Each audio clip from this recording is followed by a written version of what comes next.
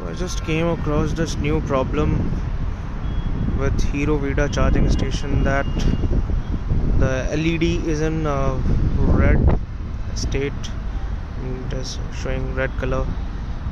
And uh, that means that both of these charging points are not working. So I have tried at charging and now my scooter is at 20% so I will not be able to ride it I don't know how long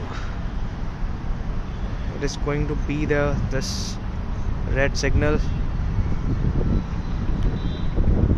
That makes quite difficult to ride scooter effortlessly and these problems keep on arising on these charging stations. I, I don't know why uh, Hero is taking care of all these things and I'm, I'm really uh, stuck into this place and I also forgot to carry uh, the charger with it.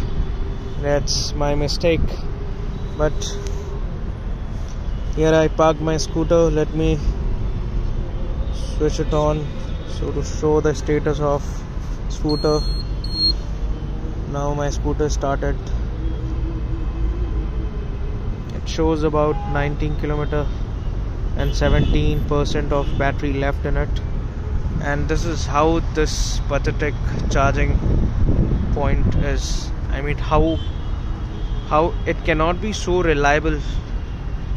I don't understand why they have you know made this scooter for what reason they have done it. So because the range is so low and I bought this scooter for a purpose and which this scooter is not rendering with low limited speed of 44 kilometer vice versa the speed increased with their other two modes but it is not as reliable as I have expected from Hero and this scooter is I think my biggest letdown in all terms.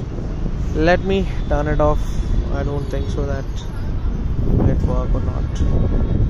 So that's all from my side. I'll keep on giving update on this scooter and uh, I'm not happy with its performance or uh, with its range mainly because the performance is ultimately depends on mode but uh, if if I am not able to ride it above 45 kilometer I don't find it the scooter the scooter for the purpose of taking it for about 200 or 300 kilometers.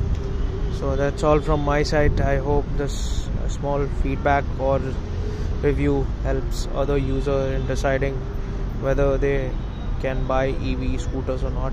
Because I really feel that future of EV scooters are really dark.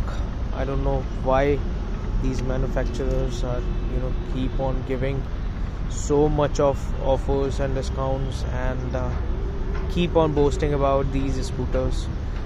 So that's all from my side. Thank you